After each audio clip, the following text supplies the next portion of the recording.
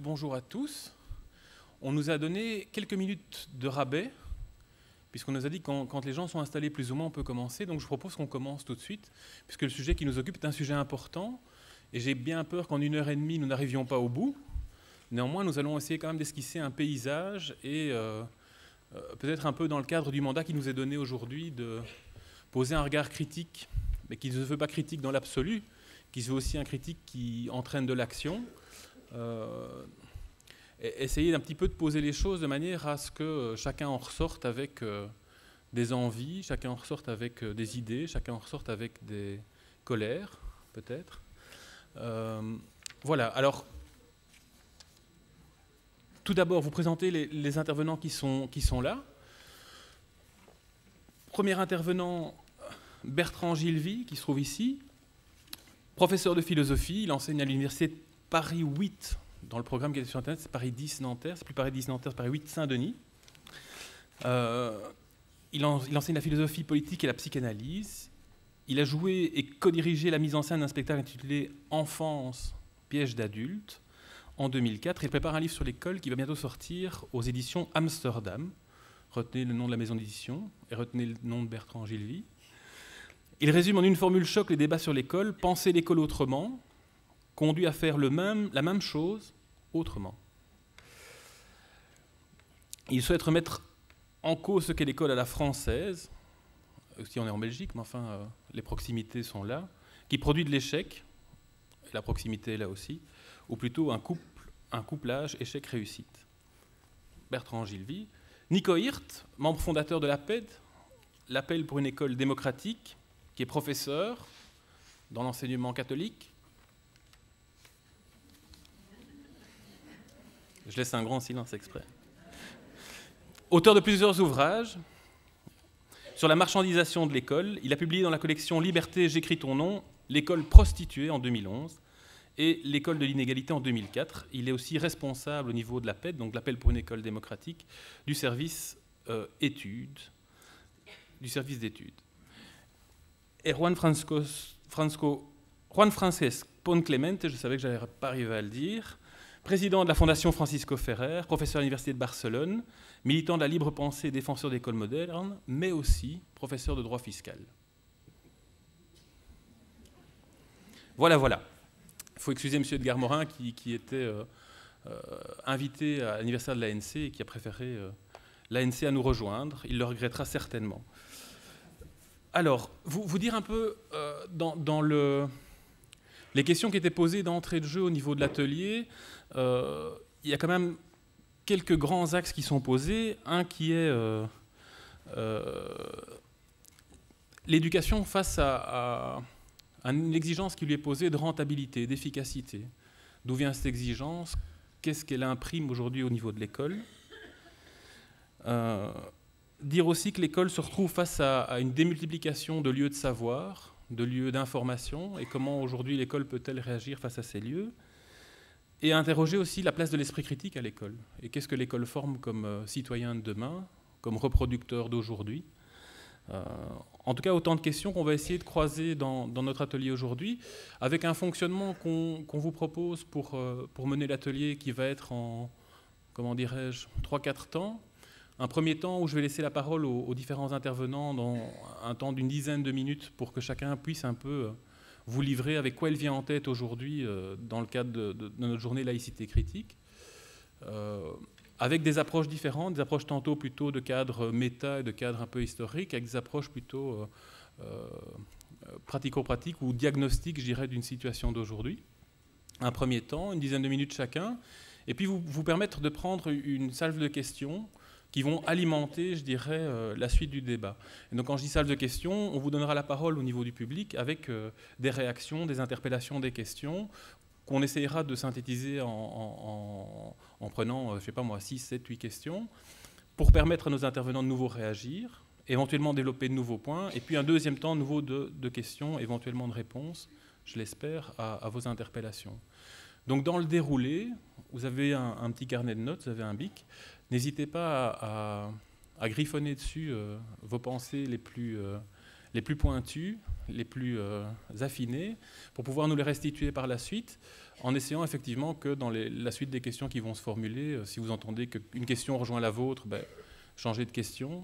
si vous entendez qu'une question n'a pas été posée, qu'elle vous semble être le nœud de, de notre travail, ben, n'hésitez pas à la poser pour qu'on puisse effectivement, dans, le temps qui nous est donné, à tout le moins l'éclairer et qu'on ressort d'ici avec une forme d'intelligence plus grande, plus collective, plus partagée, euh, et une, intelligence qu'on pourra peut-être, je l'espère, transformer en action demain, dès demain, ou dès ce soir. Voilà. Ça va? Il y a des règles qui disent qu'il faut éteindre les GSM, tout ça? Ou s'ils sonnent, que soyez discrets, quoi, enfin, qu'on n'entende pas toute votre conversation, sauf si elle est vraiment intéressante pour notre débat. Alors, premier temps, 3h30, on commence pile dans l'horaire prévu. Avec, euh, je laisse la parole à, à M. Ponclemente pour nous, dire, nous faire part euh, de sa présence aujourd'hui et, euh, finalement de, Francisco Ferrer dans tout ça. Merci.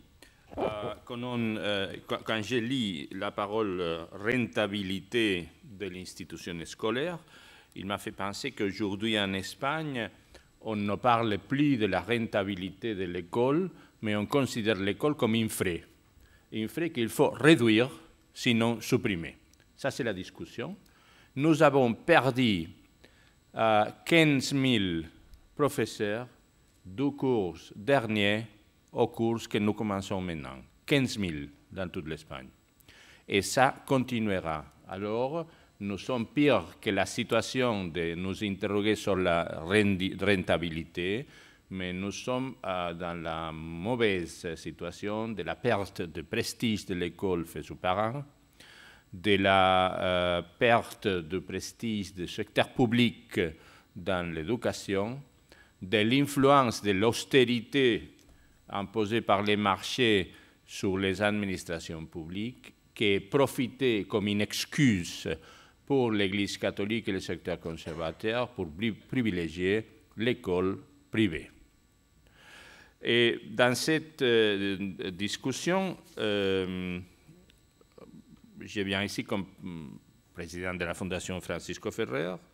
Il y a une chose qui nous unit à Bruxelles et à Barcelone, c'est que la même statue de Francisco Ferrer est à Bruxelles et à Barcelone, la de Bruxelles de 1910, la de Barcelone en copie exacte de, eh, de 1989, 1990. Ça a été un accord entre le maire de Barcelone, Pasquale Maragall, et l'échevin de Boac à l'époque, euh, Freddy Tillmans, qui a permis que la Fondation Ferrer euh, construise cette copie à Barcelone. Et, Ferrer était un personnage mort en 1909 seulement pour la raison d'avoir défendu l'école rationaliste moderne et laïque. Ferrer disait dans une Espagne euh, encore plus catholique qu'aujourd'hui, que ne perdons donc pas de temps à demander à un Dieu imaginaire ce que seul le travail humain peut nous procurer. Ferrer, concevait l'enseignement rationnel comme une méthode de défense contre l'erreur et l'ignorance. Quel, quel, était le rôle des, élèves dans l'école moderne de Ferrer et dans les autres écoles rationalistes qui ont fait avancer l'enseignement en Espagne, l'élément central de l'école était l'élève.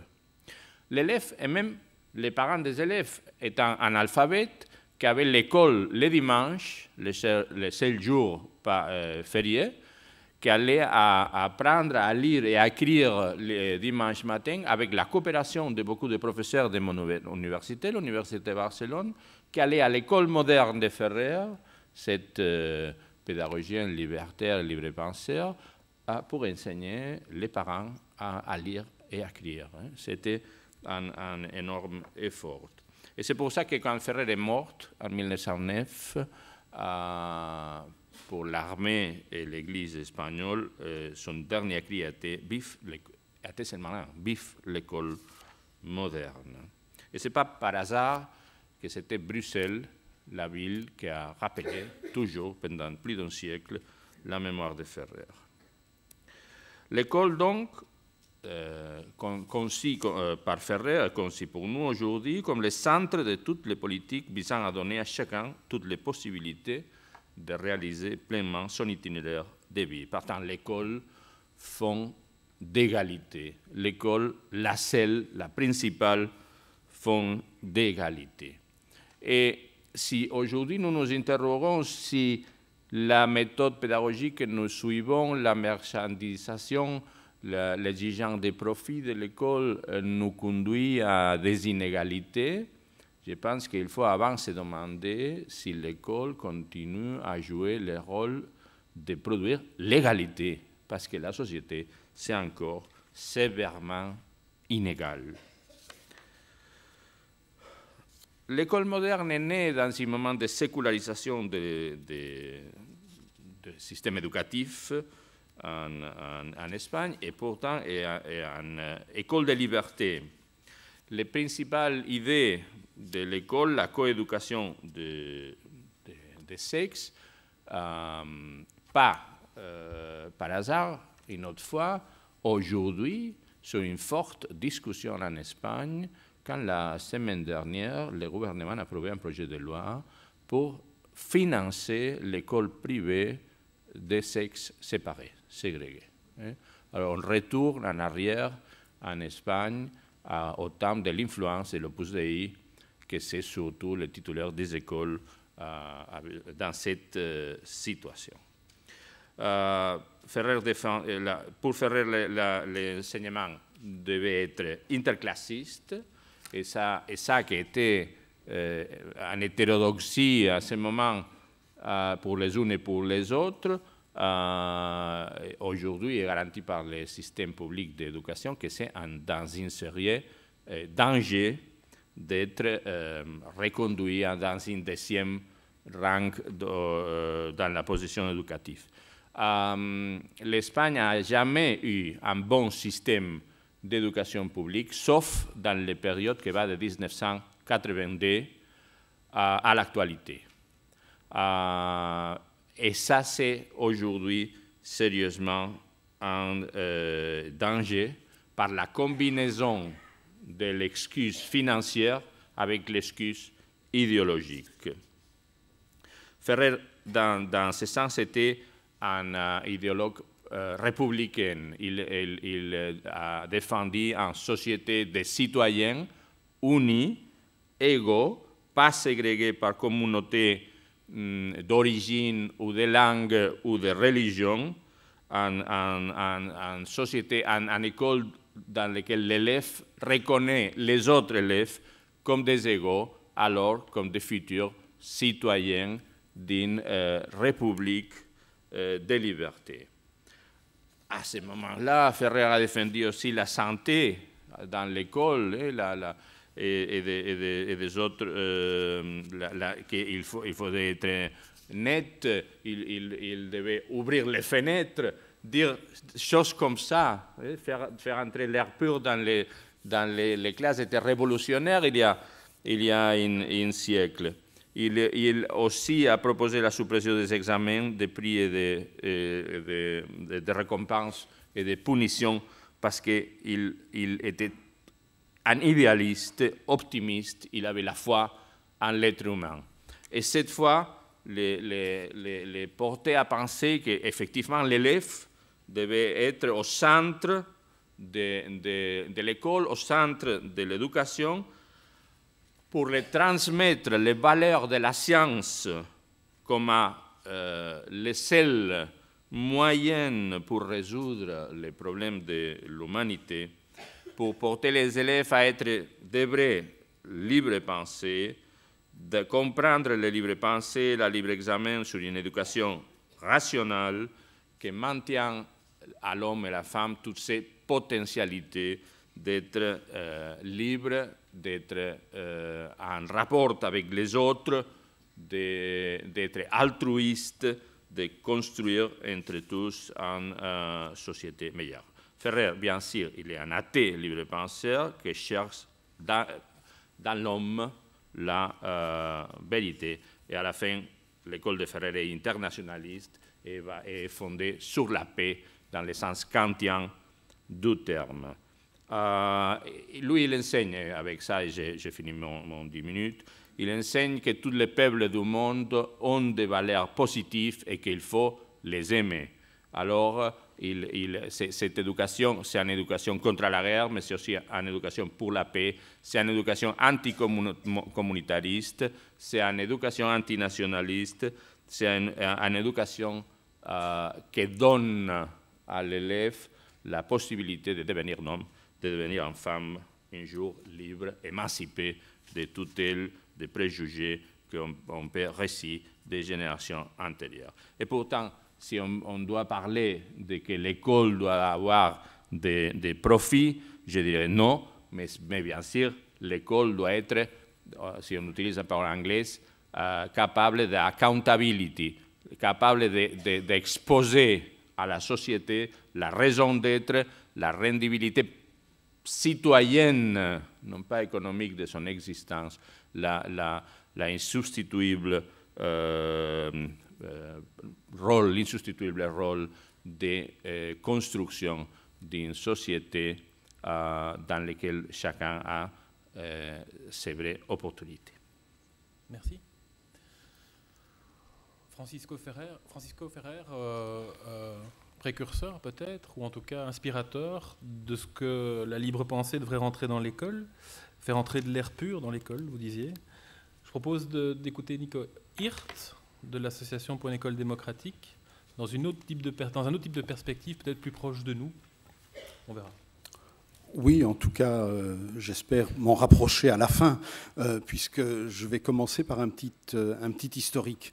Peut-être que je devrais, avant toute chose, préciser ce que mon employeur, et je ne parle pas ici de mon employeur de l'enseignement catholique, mais mon employeur l'appelle pour une école démocratique pour laquelle je travaille plus d'un mi-temps à côté de mon activité professionnelle lucrative, ce que mon employeur entend par l'école démocratique. À la PED, nous définissons l'école démocratique comme celle qui apporte à tous les futurs citoyens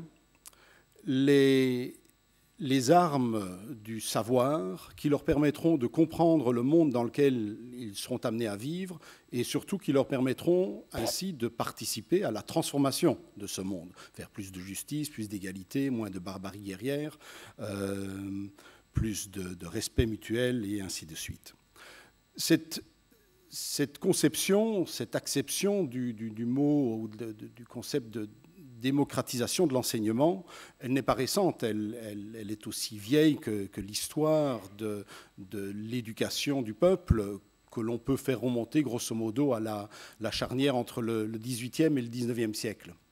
Euh, dans le monde francophone, on a souvent euh, tendance à désigner comme fondateur de l'idée d'une démocratisation de l'enseignement euh, Condorcet.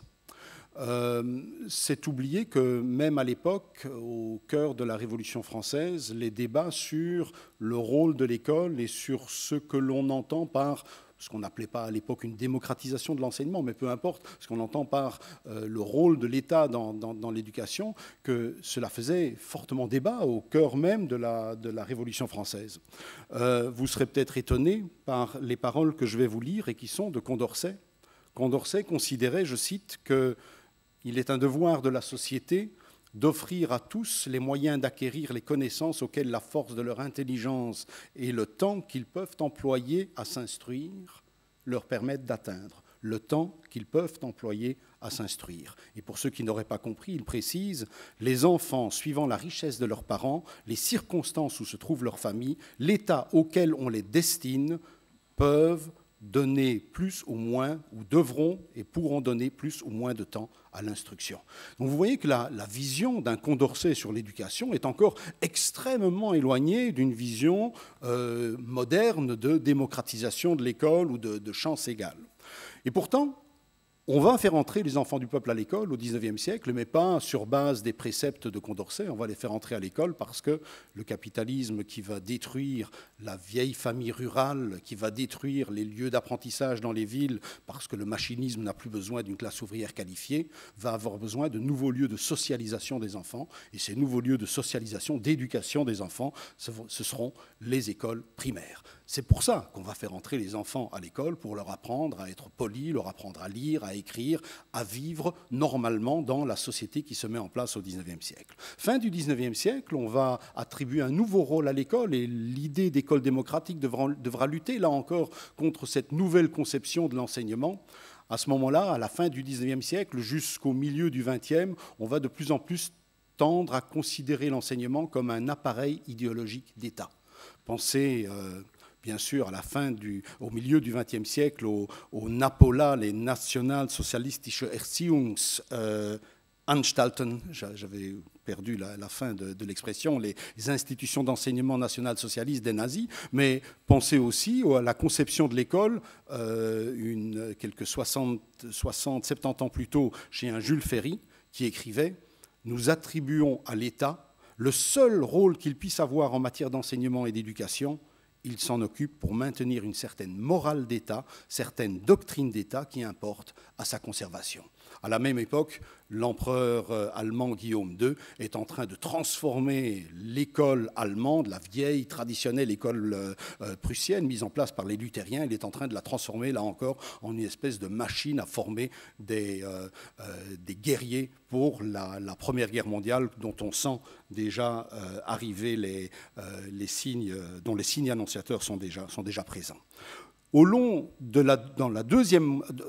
milieu du XXe siècle, l'école va être amenée à jouer un autre rôle, celui d'un appareil de sélection méritocratique. On n'a plus besoin seulement de reproduire les inégalités de classe sociale, on a besoin, à l'intérieur de la classe ouvrière, d'une hiérarchie entre les travailleurs qualifiés, les travailleurs moyennement qualifiés et les travailleurs non qualifiés. Et dans les années 20, 30, 40, de plus en plus, on va utiliser l'école on va utiliser les résultats à l'école primaire pour orienter les uns vers des filières d'enseignement général, les autres vers des filières d'enseignement technique et professionnel, et d'autres encore directement vers le marché du travail. Ce rôle de sélection méritocratique hein, apparaît vraiment en force au milieu du XXe siècle. Là encore, l'école, la conception d'une école démocratique devra lutter contre cette, cette vision d'un élitisme méritocratique. Euh, aujourd'hui, dans notre société à partir de la, fin du XXe siècle et aujourd'hui encore, euh, le principal danger, euh, le principal adversaire de la vision démocratique de l'enseignement, c'est ce que j'appellerais la vision marchande de l'école. Cette vision marchande qui résulte de la crise économique dans laquelle est plongé le capitalisme mondial, mais qui résulte aussi de l'action euh, déterminée, de l'action proactive d'un certain nombre d'organismes internationaux. Euh, je pense à la Commission européenne, à l'OCDE, au Fonds monétaire international, à la Banque mondiale, qui, développent depuis 20 ans maintenant une vision extrêmement euh, déterminée en matière d'enseignement. vision qui peut se résumer dans les points suivants. Premièrement, remplacement des savoirs par les compétences. Ce qui est important aujourd'hui dans l'enseignement, ce n'est plus d'acquérir des connaissances et des savoirs. Ce qui est important, c'est d'acquérir des compétences qui donnent force pour être flexibles, adaptables sur le marché du travail. Parce que nous vivons dans une, dans une époque qui, sur le plan de l'évolution du marché du travail, ne permet plus de, prévoir, de planifier à terme de 5 ans ou de 10 ans quelles seront les qualifications porteuses. On a besoin, besoin aujourd'hui surtout de futurs travailleurs qui sauront s'adapter à l'évolution constante des, euh, euh, des techniques de production. Et donc, l'accumulation de savoir, l'accumulation de connaissances n'est plus jugée comme quelque chose d'important. Et tant pis, si ainsi on a aussi un déficit énorme de, ce que j'appellerais une culture commune, porteuse de, citoyenneté euh, commune. Deuxième évolution du marché du travail, c'est la polarisation, la dualisation de ce marché du travail. Euh, aux États-Unis aujourd'hui, parce que là on a des statistiques plus précises, je n'en ai pas pour la, Belgique, mais aux États-Unis aujourd'hui, 67% des créations d'emplois concernent ce que les Américains appellent des hamburger jobs, des emplois à faible niveau de qualification, très très faible niveau de qualification, euh, ne nécessitant aucune qualification particulière au-delà de, l'enseignement euh, obligatoire.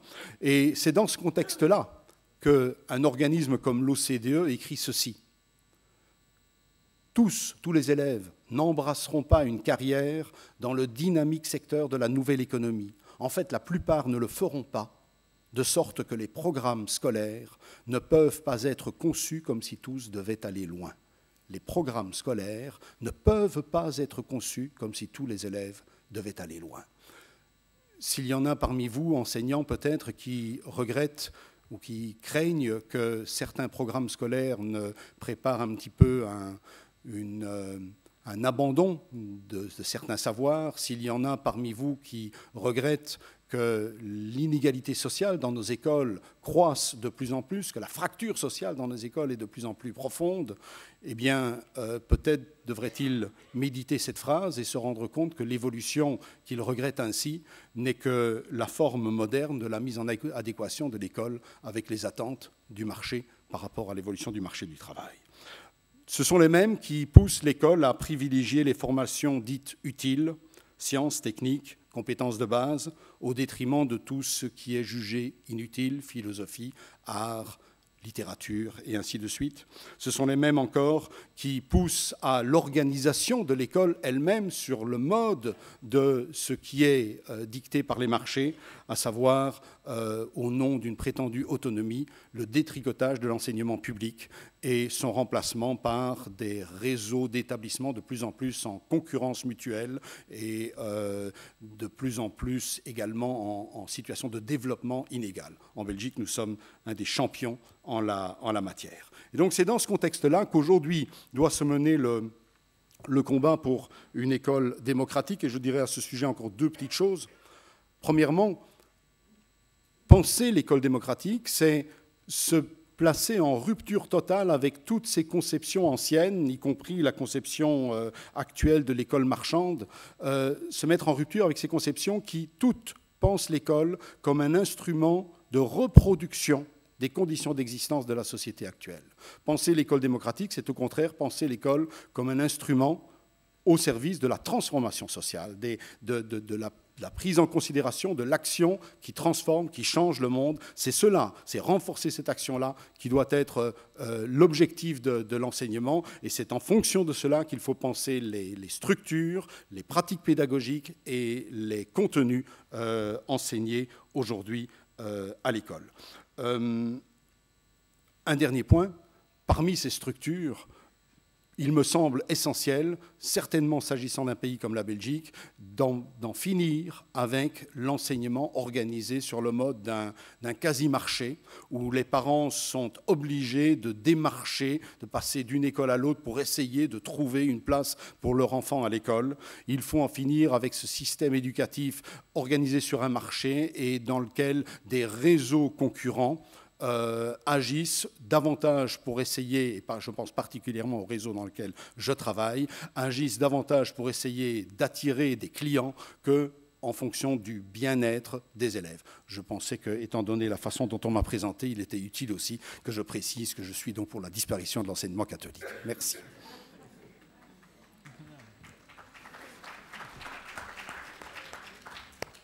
Nico pourra sortir en sécurité de la salle tout à l'heure. Sauvé. S'il y a quelqu'un de l'ECD, je propose qu'il sorte tout de suite. Prend des risques aussi. Bien, troisième intervention, Bertrand Gilvy. Euh, peut-être on a parlé d'inégalité, on a parlé d'une pensée euh, de départ euh, à viser libre pensée au sein de l'école. Là, un contexte de marchandisation. peut-être, de votre point de vue, l'échec scolaire dans tout ça et comment celui-là vient-il renforcer quelque part ce qui s'est dit précédemment? Le camarade qui vient de parler a tout dit. Sur euh, cette question.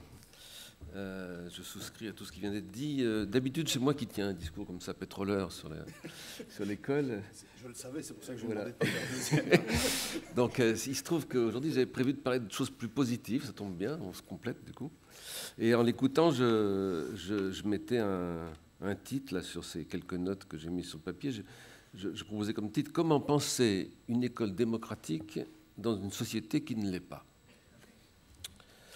Et euh, pour commencer, je dirais que là, parce qu'il y a beaucoup d'aspects dans cette euh, question, euh, je dirais que la transition entre le thème de la laïcité qui nous réunit ici et puis l'école est assez facile à faire, à condition d'entendre par laïcité pas seulement le rapport traditionnel de l'État avec les religions, mais la question plus fondamentale, plus profonde de l'État avec les euh, autorités, je dirais, les autorités ou la question de l'autorité, sa désignation, son identification, son repérage et sa critique. Et euh, à ce moment-là, on voit évidemment que l'école est un carrefour absolument incontournable où euh, est mise en œuvre la critique nécessaire de toute autorité, de tout dogme, qu'il soit religieux, ça c'est un classique, mais aussi qu'il soit, et c'est ça qui va m'intéresser le plus ici, politique, ou encore, mieux, plus encore, économique.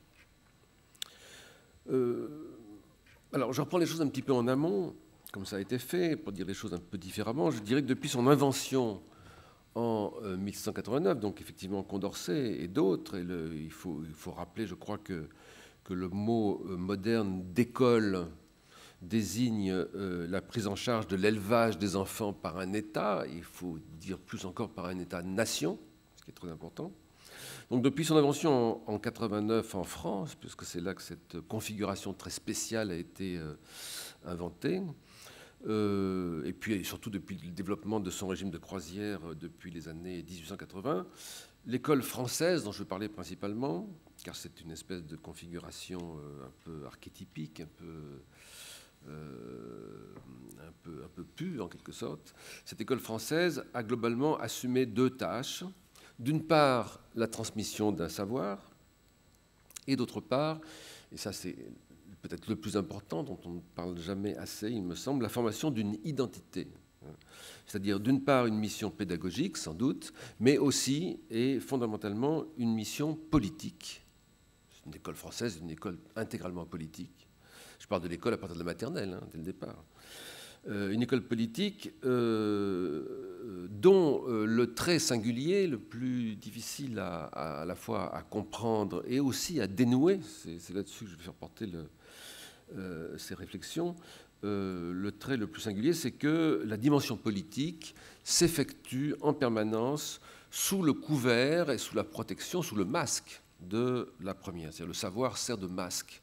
La transmission de savoir sert de masque à euh, quelque chose d'autre qui est en fin de compte le plus important. Et par conséquent, bien loin d'être une institution euh, qu'on pourrait considérer comme un, organisme, je dirais, technique, entre guillemets, un organisme technique dont euh, la théorie serait ce qu'on appelle la pédagogie, qui serait destiné tout simplement à mettre les générations montantes en possession de, connaissances ou de compétences. Bon, en réalité, cette école, plus profondément, est une institution euh, idéologico-politique de formation d'identité hiérarchisée en classe qui utilise la transmission, l'enseignement comme alibi de cette opération de reproduction, mais qui, et c'est ça qui rend les choses à la fois complexes et intéressantes, mais qui en même temps, ne pouvant absolument pas se passer de ce masque, effectue, pour une part réellement, cette transmission. Telle est son ambivalence profonde, qu'elle ne peut, pour atteindre ses objectifs politiques, que mettre en œuvre des procédures qui tentent sans cesse en même temps à les contrecarrer, produire ce qu'on appelle vulgairement de l'esprit critique. On sait que l'école française c'est un euh, sujet de plaisanterie pour, euh, pour, tout le monde en France, c'est un lieu de réforme permanente. Et euh, en même temps, c'est le lieu aussi de l'annulation permanente de ces réformes. Parce que rien ne compte finalement de façon plus importante en France que l'objectif politico-idéologique que la République a assigné à cette institution qui est en fait un de ses piliers idéologico-politiques. Quel est cet objectif? On peut le formuler de manière très simple. L'école a pour objectif de produire de l'échec scolaire. pour être complet, évidemment, pour ne pas être trop provocateur, il faut ajouter ainsi qu'un pourcentage modeste de réussite scolaire. Donc elle a pour objectif de produire des échecs scolaires, et ceci de telle manière, et c'est ça le plus important, parce qu'elle produit des échecs scolaires, on sait depuis longtemps, mais surtout, de telle manière, elle le produit de telle manière que cet échec n'apparaisse jamais comme le résultat de l'institution elle-même, mais comme la conséquence des défauts comportementaux de ceux qui la fréquentent, les élèves, les étudiants, défauts qui se répartissent en deux grands blocs, les défauts psychologiques et les défauts moraux. L'absence d'intelligence et l'absence de courage, pour reprendre des termes traditionnels. Donc on a affaire ici à une magnifique machine d'invisibilisation de la production clé de toute société de classe, celle de l'obéissance et de l'acceptation des hiérarchies sociales. Et on comprend à partir de là le vice de forme de l'entreprise traditionnelle qui s'efforce de trouver les moyens, entre guillemets, de réduire l'échec scolaire, autant euh, vouloir demander à l'école d'être le contraire de ce qu'elle est. L'école ne peut pas réduire l'échec scolaire, puisqu'elle est faite pour le, pour le faire exister. Et pourtant, en vertu de l'ambivalence que je viens d'indiquer, le masque, une opération qui se déroule, qui s'effectue sous le couvert de l'autre, en vertu de cette ambivalence, il existe tout aussi indubitablement des moyens de, je dirais, dérégler ce fonctionnement qui comporte en lui-même les germes de sa contradiction, notamment à travers l'existence d'une instruction à dimension euh, explicitement critique. Et on aboutit à ce paradoxe que l'école, qui est intransformable pour les raisons que je viens de dire, est en même temps assez facile à déformer, à dérégler. Et je voudrais ici indiquer brièvement quelques facteurs de déformation possibles, qui reposent en grande partie sur des changements de mentalité plus que sur des accroissements de moyens. Et j'irai ici à l'encontre, donc, en toute sympathie euh, et toute fraternité, à l'encontre du discours syndical traditionnel, qui en France a l'habitude d'insister sur les moyens. Le point central auquel il faut toucher, mais c'est évidemment le plus difficile à faire admettre, consiste dans la question de l'évaluation. Contrairement à ce que les médias présentent comme, terme du débat autour de cette question, il ne s'agit pas de ne plus évaluer, mais il s'agit d'évaluer des choses et non pas des personnes. Autrement dit, il s'agit de déconnecter la transmission des connaissances de la formation des identités. Acte simple qui peut se produire euh, à tout instant, tous les jours, dans toutes les classes. Il s'agit de se donner pour objectif de produire des connaissances et non pas des types de personnes. C'est-à-dire donner par exemple à tout élève l'occasion de refaire autant qu'il lui est nécessaire le parcours d'assimilation jusqu'à ce que celui-ci se concrétise dans une réalité conforme à l'objectif préalablement défini. On n'évalue pas euh, tout le monde en même temps, mais on évalue au terme d'un processus individualisé, et quand il est terminé, pas avant. Tant que cet objectif n'est pas atteint, aucune évaluation n'a lieu d'être, à moins de se vouloir, comme elle l'est actuellement, explicitement la stigmatisation d'une lenteur, d'un retard, d'une inaptitude, bref, une classification et une exclusion. On sort alors d'une logique d'enseignement pour entrer clairement dans une logique politique. Cette attitude, cette mentalité, qui ne coûte en un sens rien ou presque, entraîne évidemment de proche en proche d'innombrables conséquences de tous ordres. Premièrement, remise en cause de la loi canonique, et pourtant, si on y réfléchit, un soit peu aberrante, d'un cursus organisé en fonction de classes d'âge. Deuxièmement, changement de paradigme pour penser le travail scolaire, non plus comme un travail sur soi, ce qui est le cas actuellement dans, dans toutes les écoles, mais comme un travail sur une matière. Et donc, ouverture sur les modèles réglant le travail social normal. Je rappelle ici, pense qu'il faut toujours rappeler que Marx était absolument opposé au principe de l'obligation scolaire euh, dans des institutions spécialisées, au profit d'une formation, pas seulement technique, mais aussi spéculative et littéraire, disait-il, dans le monde du travail. Troisièmement, réflexion sérieuse sur les inconvénients de l'obligation scolaire dans sa rigidité actuelle, et inversement, sur la salutaire organisation d'une formation permanente universelle tout au long de la vie. Quatrièmement, abandon des débats stériles autour du pédagogisme pour une pratique résolument non pédagogique ou apédagogique de l'enseignement. Ce qu'on a pu appeler, le terme pose évidemment de nombreux problèmes, on aura l'occasion d'en discuter, ce qu'on a pu appeler, je pense à Freinet par exemple, la méthode naturelle, entre guillemets, il faut la mettre entre guillemets parce que cette formule est très complexe, la méthode naturelle qui vaut à tous les niveaux et dans toutes les disciplines. Je dirais un mot tout à l'heure, si vous voulez, sur la question de la méthode naturelle dans le domaine de la lecture, qui est une clé fondamentale de cette euh, euh, ambiguïté euh, cynique du système scolaire actuel.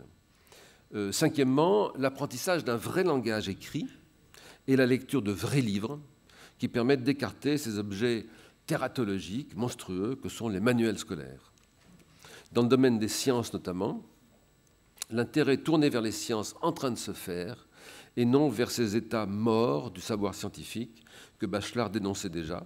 Ceci permettrait une véritable libération de ces disciplines, les mathématiques, la physique, qui sont aujourd'hui honteusement asservies en instruments de sélection des personnes, pour donner enfin une impulsion nouvelle à ces outils de compréhension du monde naturel et technique contemporain qui sont à la base de, je dirais, l'autonomisation des esprits face à la globalisation euh, du euh, monde technique euh, contemporain.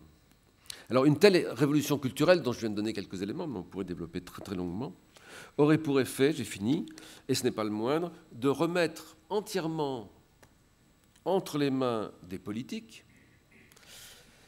l'école ne s'en occupant plus, la tâche ingrate, abandonnée par l'école, de la stigmatisation, qui est la source de la servitude volontaire, le fait de croire qu'on n'est pas fait pour. L'identité qu'on continuerait à conférer l'école à ses membres serait celle de citoyens égaux en droit, malgré leurs différences de rythme et de style d'appropriation des savoirs. Et il resterait alors, ce que la France aujourd'hui ne sait pas faire, il resterait alors à inventer d'authentiques procédures d'intégration sociale qui ne seraient plus masquées par des manipulations pédagogiques, mais qui apparaîtraient ouvertement pour ce qu'elles sont, à savoir des choix politiques.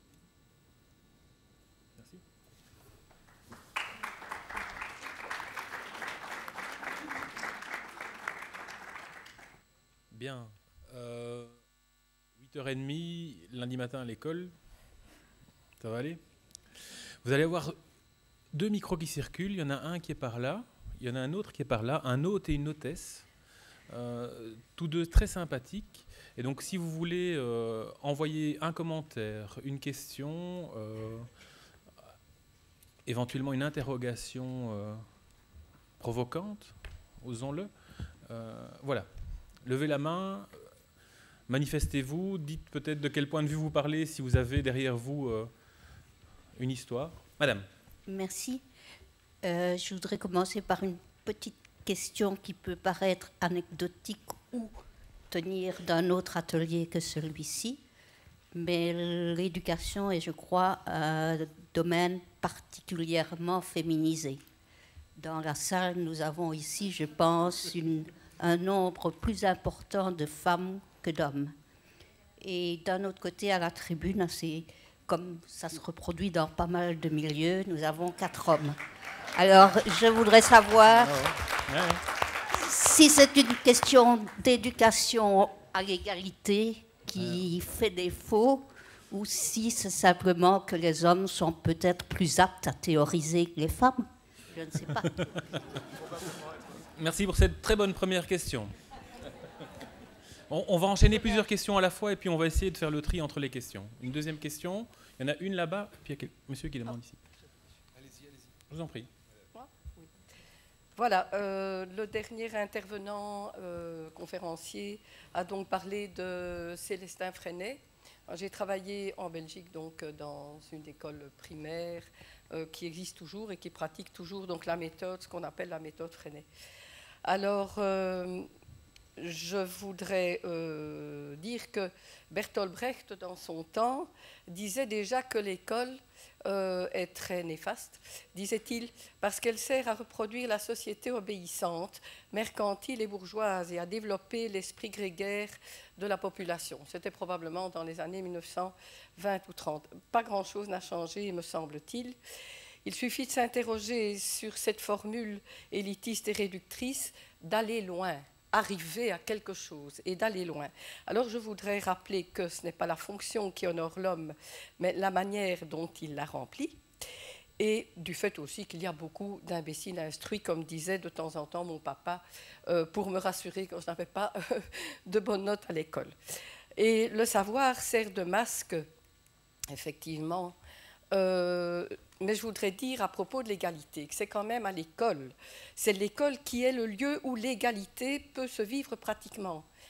Et c'est là, absolument, que l'école devra, euh, espérons qu'elle réussisse, euh, et pour ce faire, on revient peut-être à Célestin Freinet, les méthodes doivent développer plutôt l'entraide entre les enfants, plutôt que les rivalités entre eux, et bien sûr, Ahmed aussi en avait parlé, avait appliqué dans leurs, institutions, dans leurs écoles. voilà. Et je voudrais simplement dire que ne fût-ce que chanter ensemble, on ne chante pas hein, chez nous en Belgique, mais non, hein, cette culture-là n'existe pas. Chanter ensemble, c'est parce que je fais chanter des enfants que j'en parle, excusez-moi, c'est peut-être un détail, mais je vous assure, c'est vraiment pas un détail.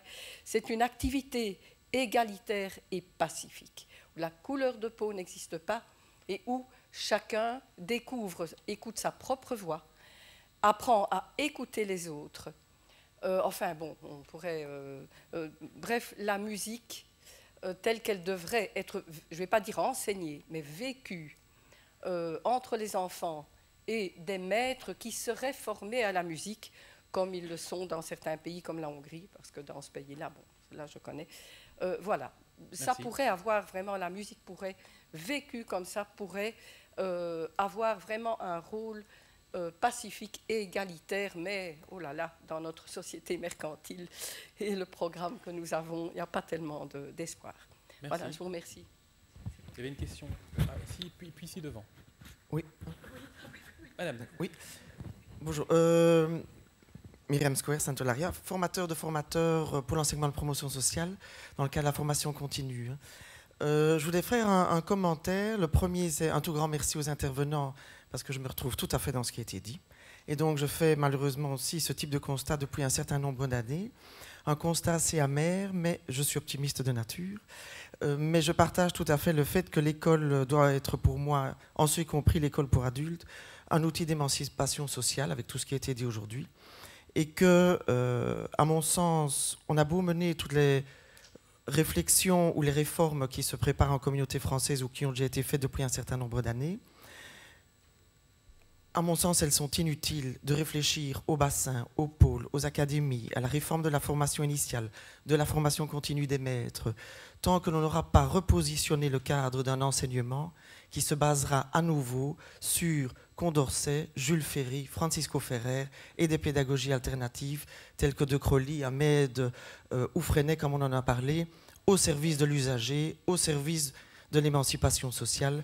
Mais ça, je pense que politiquement, il n'y a pas grand monde qui a envie de repositionner un ancien décret mission qui s'intitule comme ça chez nous, qui portait bien pourtant son titre, mais tant qu'on n'aura pas repositionné les valeurs et les croyances et les missions et les rôles, on aura beau inventer toutes les réformes, on ne changera rien au constat que l'on fait actuellement.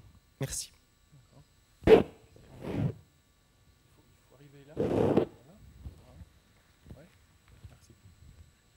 une là, et puis on, arrêtera pour la et puis une là, et puis on arrête pour la première salve de questions. D'accord? Oui. Monsieur. Jacques Benteux, je, suis, fais de l'enseignement dans une ville euh, formidable, mais très particulière en matière d'enseignement, Caotigny-Louvain-la-Neuve. Et ma question est, peut-on espérer avancer en Belgique en matière d'égalité devant l'école et de faire avancer la démocratie à l'école sans changer la constitution belge et particulièrement son article de liberté de l'enseignement qui aboutit en appliquant un autre article, égalité des Belges devant la loi, à traiter de la même façon l'école catholique, l'école musulmane, peut-être demain l'école bouddhiste et l'école publique appelée en Belgique école officielle, qui est l'école pour tous.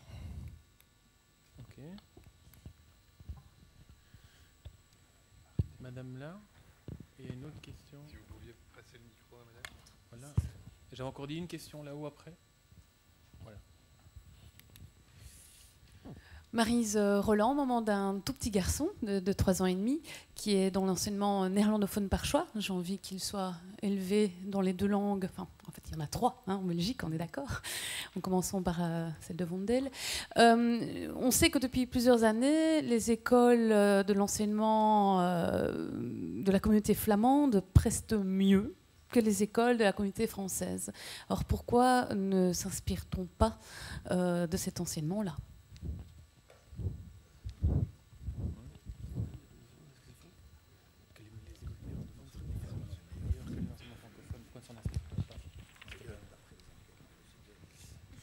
Dernière question Oui, en fait, euh, moi ce que je me demandais, c'était, euh, il y a une analyse structurelle qui est posée sur euh, la reproduction des, inégalités sociales. Donc l'école reproduit des inégalités sociales, légitimise certaines inégalités sociales.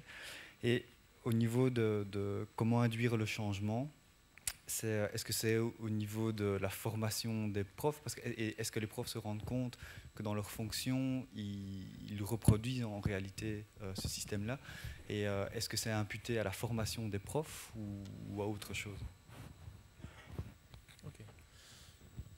Alors, je, euh, dans, le, suivi, donc on a pris une série de questions. On va tenter, j'ai essayé d'en prendre note, de les noter, de n'en oublier aucune et de voir dans les, intervenants qui souhaitent y répondre. Sur la question de la composition du panel et de son homogénéité, dirons-nous? Euh, euh, je pense que ce n'est pas une question qui concerne l'atelier euh, genre, hein. c'est une question qui nous concerne éminemment ici. Et que donc, effectivement, peut-être est-ce le témoignage qu'en notre sein même, à toute une série de moments, les bonnes questions ne sont pas posées. Alors ça n'enlève rien à la qualité des intervenants, ça enlève à l'image qu'on souhaite avoir et ça enlève au dispositif qu'on met en place pour qu'effectivement, on produise autre chose que ce qu'on souhaite dénoncer par ailleurs, deux salles plus loin. Donc, je renverrai à qui de droit et, à moi-même en premier lieu. Alors, moi j'ai l'impression qu'il y avait plusieurs questions. Il y a une, question de, méthode, finalement. Quelles sont les méthodes qui sont utilisées euh, au niveau de l'enseignement? Est-ce que le choix des méthodes, à un moment donné, n'a pas un impact concret sur euh, les effets produits? On a parlé de chanter tout à l'heure, on a parlé de Freinet, on a parlé de Crowley, d'Ahmed. Euh, donc, quelle est la place des méthodes? Parce qu'on a parlé de pédagogisme à un moment donné pour essayer de le mettre un petit peu à distance, mais donc finalement, quelle est la place des méthodes? Comment, aussi pour... Euh, euh, il y a des problèmes de culture. On parlait, est-ce que c'est la formation des enseignants qui doit, qui doit effectivement produire d'autres choses au sein de l'école? Et euh, une position qui est aussi de dire, un peu radicale, est-ce qu'il n'y a pas une culture à changer autour de l'école? Qui est effectivement peut-être la culture des enseignants au travers de leur formation, mais aussi la culture de l'école elle-même, la culture du, regard que le peuple pose à l'égard de l'école, les attentes qu'il peut poser par rapport à lui. Il y a une question qui s'est posée autour de, des résultats euh, entre euh, modèle flamand, modèle francophone en Belgique, et là, probablement que Nico a, des choses à en dire. Oui, mais en tout cas là-dessus, j'avais une perche directe. Et euh, sur la reproduction des inégalités, sociales. Donc je ne sais pas qui souhaite commencer, qui dit j'ai peux dire un mot Alors, sur la question de la méthode, c'est une question très intéressante parce qu'elle est. un mot qui est un mot piège un petit peu. Euh, je dirais non, mais oui. C'est-à-dire, euh, je pense qu'il faut cesser de se focaliser sur les questions de méthode. Euh, peu importe les méthodes.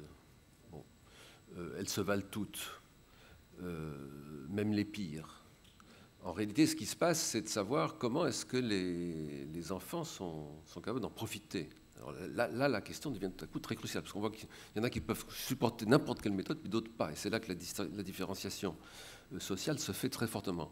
Mais euh, dans un premier temps, je dirais la méthode n'importe pas. En tout cas, ça ne me semble pas vraiment intéressant, parce que, et là je reprendrai un peu l'inspiration de, de quelqu'un comme Freinet, mais il ne faut pas en faire. Euh, il n'est pas le seul à avoir pensé comme ça, mais enfin, c'est vrai que c'était un personnage euh, assez complet. Euh, parler de, méthode Freinet comme on le fait couramment, je ne dis pas ça contre vous du tout, hein, on, le fait tous, moi aussi. Au fond, c'est une absurdité. Il n'y a pas de méthode Freinet. Freinet a, inventé quelque chose qui n'était pas du tout une méthode, mais qui était un lieu. Ça, c'est, vraiment révolutionnaire. Au fond, qu'est-ce que c'est que Freinet C'est un architecte, fondamentalement. C'est, quelqu'un qui a dit, et qui a fait surtout, qui a dit une école, c'est pas un face-à-face, hein, comme entre un dompteur et des lions, entre un maître et des, élèves, avec lesquels il faut absolument etc., faire passer quelque chose. Ce rapport de force, ces, moyens de rétorsion qui existent dans l'école, etc. Bon, c'est pas un face-à-face entre un maître et des, et des élèves ou des étudiants, ça vaut aussi pour l'université. L'école, c'est un lieu, c'est un bâtiment où il y a du travail à faire, ce qui suppose des matériaux, des bibliothèques, des objets, des, moyens, une imprimerie, des tables, bon, un atelier, un laboratoire, un lieu. Et dans ce lieu, il y a des gens qui se rencontrent, on appelle les uns des enseignants, les autres des élèves, bon, peu importe.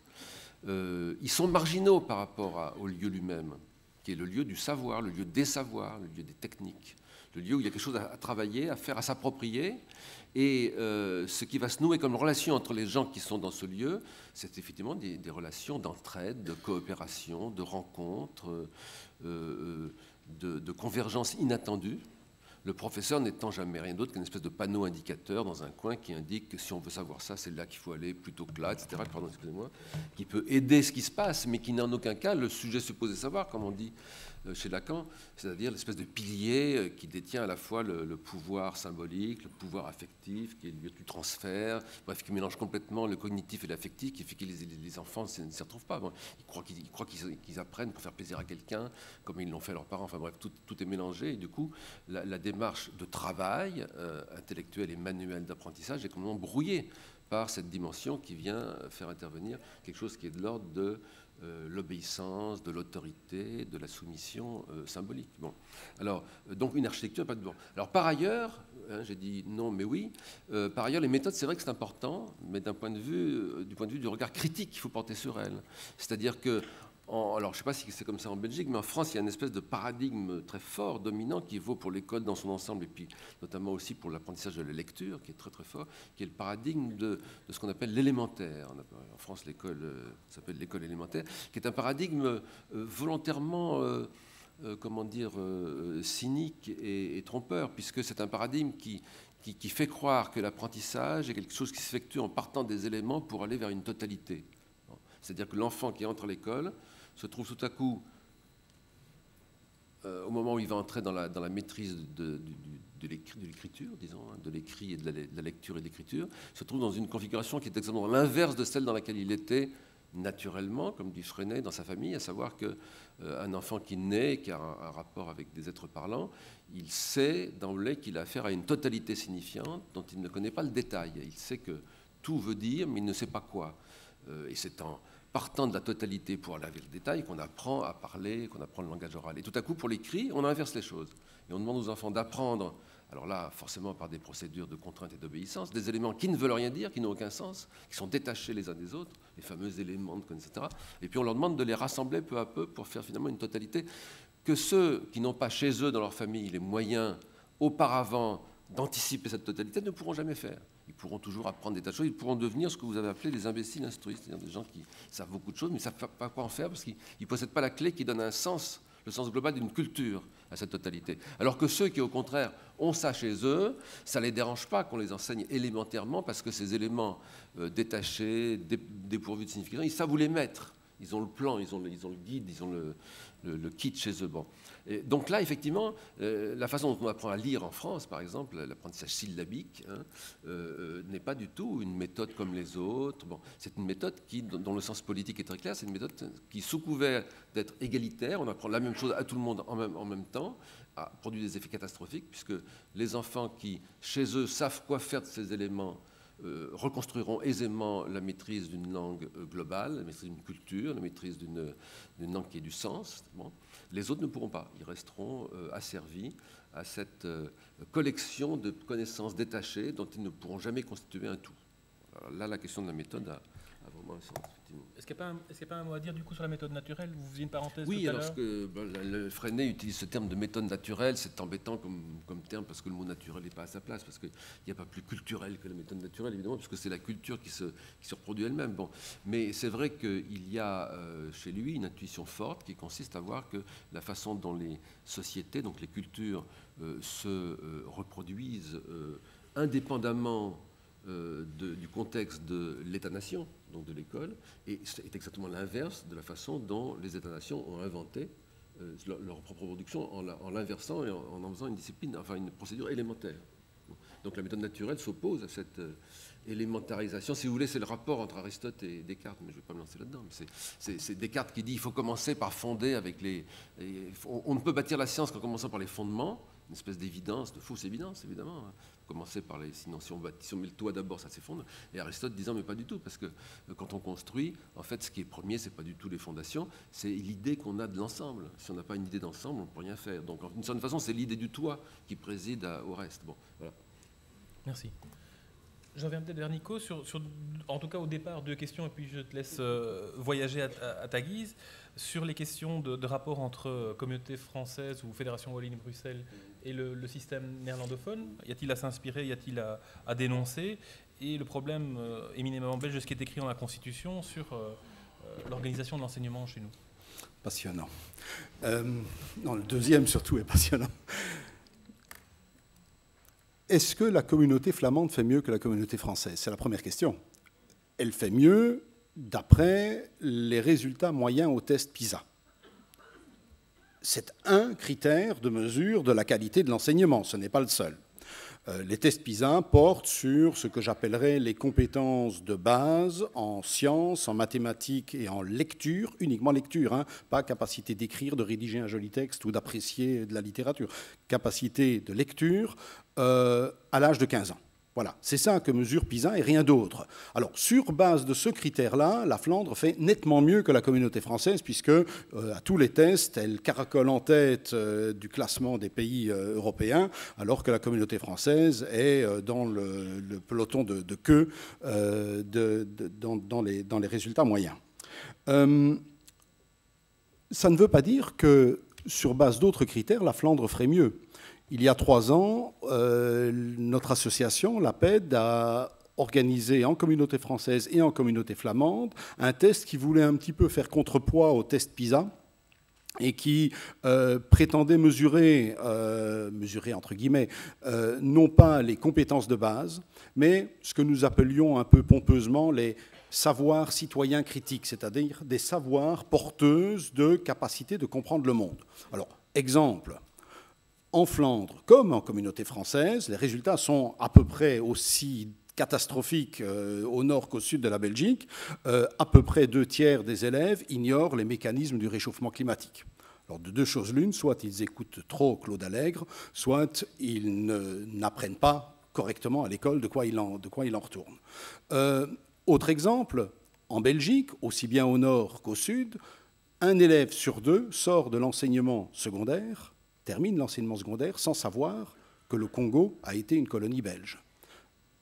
Le 1 sur 2 qui savent, je ne sais pas ce qu'ils savent exactement de cette colonisation, ce qu'elle a été, ce qu'elle a signifié. Ils savent que, le Congo a été une colonie belge, mais je pense qu'ils ne connaissent pas la réalité de ce. Et c'est vrai aussi bien au nord qu'au sud. Les résultats de l'enquête sont étonnamment semblables dans les deux communautés. Ça veut dire que si on prend des critères qui ne sont pas ceux mis en avant par l'OCDE parce que porteurs de flexibilité, d'adaptabilité, d'employabilité sur le marché du travail, mais des critères porteurs, des critères porteurs selon nous, davantage de, culture commune, de, capacité de comprendre le monde, lecture d'un graphique à caractère, caractère euh, social, économique, etc., eh bien là, on voit que les performances de la Flandre ne, ne semblent pas de loin supérieures à celles de la communauté Deuxième chose, si on prend un autre critère de qualité de l'enseignement, celui des inégalités sociales à l'école, eh bien, la Flandre fait effectivement un peu mieux que la communauté française, mais pas beaucoup mieux.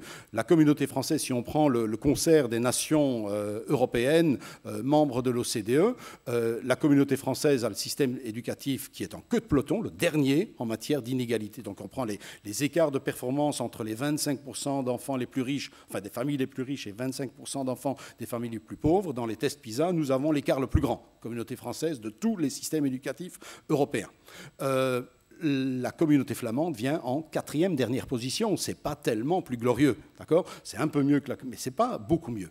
Alors, en tant que physicien, moi, je me pose la question. Tiens, j'observe qu'il y a des, corrélations, des, des, ressemblances, des dissemblances dans l'observation. Qu'est-ce qui, dans les conditions d'organisation, de fonctionnement de l'enseignement dans les deux communautés, qu'est-ce qui est semblable, qu'est-ce qui est dissemblable et qu'est-ce qui pourrait donc expliquer ces différences? Qu'est-ce qui est semblable d'abord? Malgré une communautarisation de l'enseignement, donc euh, j'explique pour nos amis étrangers, euh, séparation complète de l'enseignement avec deux ministres distincts qui dépendent de deux gouvernements distincts. Donc nous, sommes le seul pays d'Europe, à part la Suisse, qui n'a plus de ministère national. En, Espagne, vous avez encore un ministre national de l'éducation. D'accord? Nous n'avons plus de ministre national de l'éducation en Belgique depuis 20 ans. Euh, donc, malgré une séparation totale, les structures du système éducatif sont restées très, très, très semblables l'organisation avec un enseignement primaire puis un enseignement secondaire tous les deux de six années, l'organisation avec euh, euh, euh, un enseignement divisé en réseaux concurrents, l'organisation avec ce qu'on appelle la liberté de choix des parents, c'est-à-dire ce que moi je préfère appeler l'obligation de choix des parents, tout ça est très très très fortement semblable. Et quand on a mis en place chez nous le décret inscription, eh bien en Flandre on a mis en place quelque chose d'équivalent. Donc il y a, y a une terrible similitude dans le mode d'organisation, de structuration des, systèmes éducatifs. Où sont les différences? Les différences, elles sont premièrement dans le financement. Un élève de l'enseignement flamand, et je, m'excuse, ce n'est pas parce que je mets une casquette de syndicaliste, hein, mais il faut tout de même le dire aussi, euh, un élève de l'enseignement flamand coûte à l'État 20% de plus qu'un élève de l'enseignement francophone pas parce que, la loi de financement serait injuste, mais parce que la communauté flamande, qui dispose de moyens propres, met des moyens supplémentaires par, rapport à ce que permet la loi de financement des communautés. Donc 20% d'encadrement en plus, 20% de, de, de, de subventions de fonctionnement en plus. C'est ça, évidemment, selon moi, qui est un des facteurs, je ne dis pas le seul, mais un facteur important d'explication de la fracture entre les deux.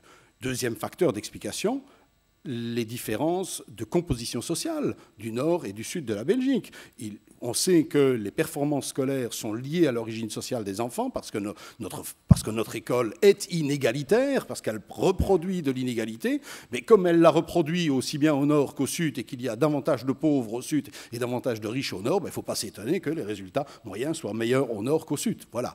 Mais attention, ça n'explique qu'à peu près un quart de la, de la différence statistiquement. Et puis, il y a un troisième facteur. Là, il y a des différences. Ce sont les programmes d'enseignement. La communauté française s'est ruée beaucoup plus tôt dans ce qu'on appelle l'approche par les compétences. Et là, je dévie un petit peu de la question, parler aussi un peu des méthodes et des, et des, contenus. On s'est rué beaucoup plus tôt dans ce qu'on appelle aujourd'hui l'approche par les compétences. La, la, Flandre y arrive maintenant. Depuis deux ans, ils sont aussi en train de rénover leur, euh, leur programme d'enseignement pour s'adapter à ce qui est une demande très forte de la Banque mondiale, de l'OCDE, de, de, la Commission européenne, à savoir privilégier les compétences par rapport au, savoir dans, l'enseignement. Et j'ai la faiblesse de croire que ça n'est pas étranger à euh, l'écart que l'on observe dans les, performances entre le Nord et le Sud. Je prends un exemple en, mathématiques parce que c'est un domaine que je connais bien et c'est une difficulté sur laquelle je bute moi en tant que professeur de physique. Je constate régulièrement que euh, les élèves que j'ai en, quatrième année secondaire en physique ont sont extrêmement inégaux au niveau de la maîtrise des termes précis requis pour comprendre euh, un, discours à caractère mathématique. Par exemple, quand je parle, ça ne vous rappelle peut-être rien, mais essayez de, vous souvenir de, de, votre enfance, quand je parle des termes d'une somme, des facteurs d'un produit, ce sont des mots qui souvent ne, sont pas compris, en tout cas pas compris par tous les élèves. Ils confondent termes, facteurs, alors que ce sont des choses qui devraient être acquises normalement depuis l'école primaire. Et je me suis amusé, enfin plutôt nous nous sommes amusés au niveau de la PED, à comparer les programmes d'enseignement de mathématiques de la Flandre et de la communauté française. On a vu, on a une, cinquantaine d'exemples de, ce type, mais je, donne celui-là, j'en donne un. Euh, dans, les, les socles de compétences de la communauté française, on lit ceci les élèves devront apprendre à utiliser les termes mathématiques corrects. Point. Fin de citation. En Flandre, on dit, c'est la même chose, donc je peux le dire en flamand, de leerlingen zullen leren de juiste wiskundige termen gebruiken. C'est exactement la même chose. Mais la phrase ne s'arrête pas là. Il n'y a pas un point, il y a un double point. Suit une énumération de 35 termes que les élèves devront avoir appris à comprendre et à utiliser correctement. Ça veut dire que du côté flamand, il y a une précision beaucoup plus, euh, euh, plus rigoureuse, plus fine de ce qui est attendu de l'enseignant. Alors que du côté francophone, on laisse euh, la main libre à l'enseignant. Alors on pourrait se dire, c'est chouette d'avoir de la liberté. Moi, j'aime bien avoir de la liberté sur le plan des pratiques, sur le plan de ma pédagogie. Mais je voudrais qu'on me dise avec précision ce que je suis chargé d'enseigner, pas par souci d'uniformisation, mais pour avoir la garantie que les élèves que j'ai face à moi ne se retrouveront pas en situation de difficulté l'année suivante ou deux années plus tard parce que le professeur aura supposé qu'ils ont appris quelque chose que je ne leur aurais pas enseigné. Et inversement, je souhaiterais que les enseignants qui travaillent avant moi avec les élèves, mais qu'ils aient une vision assez claire de ce qu'ils doivent leur enseigner. Et là, avec les nouveaux programmes issus de l'approche par les compétences, particulièrement ces nouveaux programmes, je trouve que la précision de la formulation des contenus est devenue, euh, la formulation des contenus est devenue extrêmement floue, extrêmement vague. A contrario, on nous impose des méthodes pédagogiques qui sont peut-être pas forcément mauvaises, mais qui en tout cas, lorsqu'elles sont imposées à des enseignants qui ne sont peut-être pas préparés à travailler comme ça, ou qui euh, peut-être sont, de par euh, leurs habitudes, plus efficaces en travaillant d'une autre façon, je pense qu'en imposant des méthodes pédagogiques, au lieu de libérer l'initiative pédagogique, on, l'enferme et on enferme cette fleur fragile qu'est euh, l'épanouissement des, pédagogies. Un mot sur la Constitution. Sur la Constitution. Sur la Constitution. Euh, est-ce qu'il faut changer la Constitution pour mettre fin au réseau et à l'obligation de choisir son école par les parents? Euh, pour le premier élément, les réseaux, oui, la réponse est claire. Si on veut euh, fusionner les réseaux, c'est-à-dire transformer les réseaux actuels en un seul réseau public d'enseignement, parce qu'il faudra les fusionner, hein, il faudra, on ne va pas créer des écoles publiques en laissant les bâtiments de l'enseignement catholique euh, à, l'abandon et libre, donc il faudra nationaliser l'enseignement catholique si on veut aller vers un seul réseau. Euh, pour moi, il faudra le nationaliser sans indemnisation, de grâce. Mais donc c'est pas un problème financier, mais c'est effectivement un problème constitutionnel. C'est tout à fait contraire à la. Si, à côté de ça on veut interdire l'organisation d'un enseignement confessionnel, c'est contraire à la Constitution. Euh, je pense que dans ce pays, on a transformé la Constitution pour des broutilles autrement moins importantes que ça, euh, et à intervalles extrêmement réguliers. Euh, je crois que le seul souci, c'est que s'il y avait autant de gens qui se mobilisaient pour la démocratisation de l'enseignement que de gens qui se sont mobilisés pour euh, euh, les problèmes linguistiques à BHV, dans les fourrons ou ailleurs, je ne crois pas qu'il y ait là un obstacle insurmontable, puisque de toute façon le problème est le même en communauté flamande et en communauté française. en, revanche, en revanche, je veux tout de même dire que remplacer l'obligation de choisir son école par un système d'affectation prioritaire des élèves aux établissements scolaires, c'est-à-dire un système dans lequel les élèves se verraient, les parents plutôt, se verraient proposer un établissement scolaire dès le début de la scolarité dans l'enseignement fondamental, euh, plutôt que d'être obligés d'aller choisir eux-mêmes et chercher eux-mêmes une école, c'est-à-dire un système d'affectation tel qu'il existe dans la plupart des pays européens aujourd'hui. Euh, est tout à fait réalisable et peut tout à fait être mise en pratique avec euh, la Constitution actuelle, puisque ça n'exclut pas la liberté de choix après. Hein. une fois qu'on a accepté ou refusé l'école qui vous est proposée, on peut encore à ce moment-là admettre une certaine liberté de choix. Donc là, il n'y aurait pas d'opposition par rapport à la, à la Constitution. Mais la question des réseaux, oui. Bon, j'aurais d'autres choses à dire, mais je suppose que ce sera une, plus tard. une proposition stratégique la question de la culture, est-ce qu'il n'y a pas un problème de culture vis-à-vis de l'école plutôt qu'un problème de méthode ou un problème d'organisation? Je pense qu'il existe, je pense qu'il existe à côté, d'un problème d'organisation, d'un problème de méthode, aussi euh, un problème de culture. Euh, on, a laissé, je pense, euh, l'école toute seule dans la transmission de la culture et peut-être on attend trop. Et, je pense qu'un des avantages de la proximité territoriale de l'école en relation à, la, où les élèves habitent ou les familles, c'est qu'il peut y avoir une, approximation plus grande, une participation plus grande des familles avec l'école euh, dans le sens positif de cette relation. Y a un sens négatif, hein, c'est à New York les caméras, les caméras télévision Internet sur l'école dans lesquelles les parents voient qu'est-ce que son enfant fait, peut téléphoner et dire écoute, euh, il n'y a personne maintenant à ce moment, à 10, h 10 euh, qui parle avec mon enfant. Ça c'est terrible, non? Mais la proximité, l'involucration, la codécision, euh, un, certain dialogue euh, pourrait être très, très, très positif. Et nous avons, et, ça, il n'existait pas en Belgique, mais nous avons avancé très peu euh, en Espagne. Des réflexions que, que, que, nous avons fait déjà, j'aimerais dire des choses. Hein.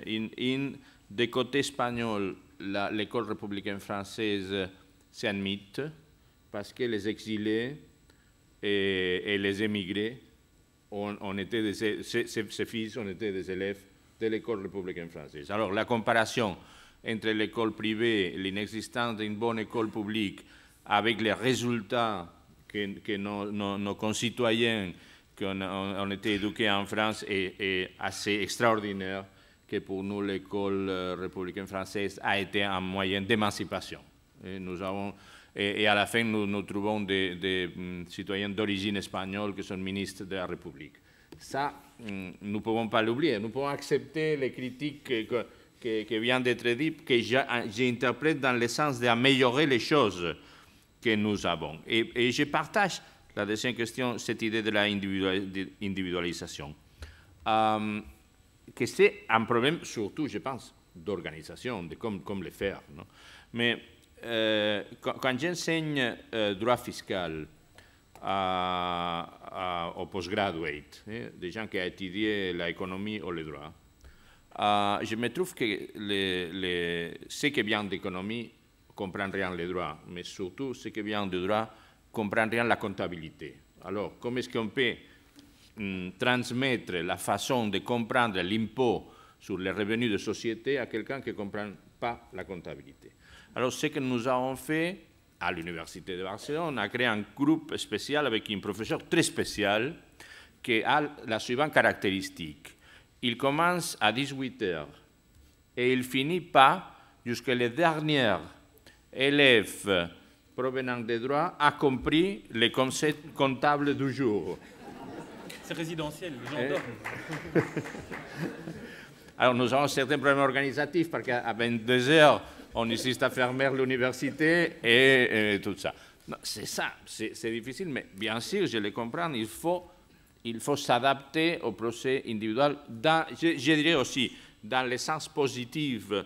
Pour combattre l'inégalité, il faut donner euh, moyens inégaux pour arriver à l'égalité, euh, s'il y a un effort, s'il y a un manque d'effort, je pense qu'alors c'est un autre problème. Et, et, pourtant, je, je, je parle d'une façon très intéressante ce qui a été dit, j'ai pris note.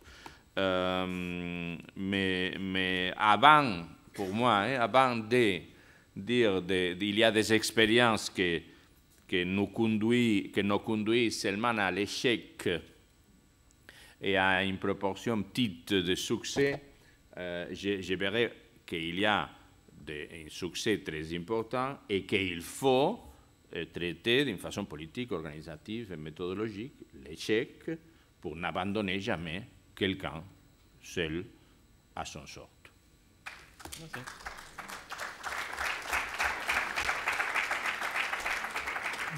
deuxième round de questions ou de, réactions que vous souhaitez avoir. Je vois des, bras qui se lèvent par là, par là, par là, par là.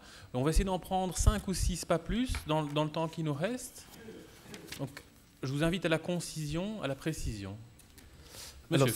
C'était deux euh, petites euh, propositions par rapport à l'énoncé d'une possible euh, révolution culturelle ou d'une virtualité dans la contradiction même de l'école. Alors vous avez dit, c'est évidemment fondamental, vous avez parlé de, l'architecte Freinet, qu'une des choses euh, qui rendent la situation invivable dans les écoles, c'est évidemment la manière dont elles sont construites. Et là, il y, a tout un travail. Mais moi, j'avais une proposition plus humble en termes de dispositif pour, faire, pour rendre vivant ce dérèglement de l'école qui est souvent vécu par tout le monde comme mortifère, mais qui pourrait entraîner un dysfonctionnement de la scolarité.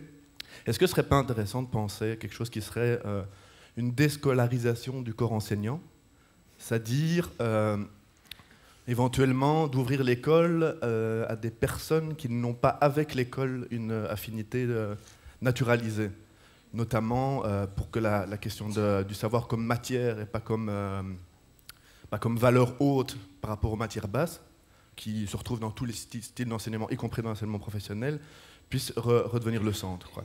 en gros, ouvrir l'école dans la mesure des possibilités et en contrebande éventuellement euh, à des euh, parcours individuels de personnes qui ne sont pas des professeurs mais qui savent faire des choses. Merci pour votre question. Une deuxième question, peut-être par ici? Madame? Monsieur, puis madame. Madame, puis monsieur. Oui. Euh, euh, bonjour, je suis euh, Antoinette Benteuil, je suis professeur de mathématiques. Non, j'étais professeur de mathématiques, donc je suis retraité depuis six ans.